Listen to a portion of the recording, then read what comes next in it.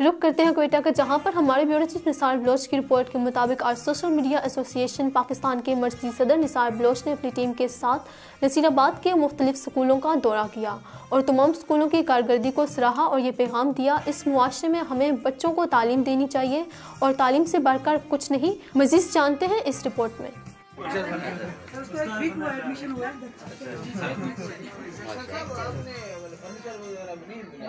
आपका नाम क्या है?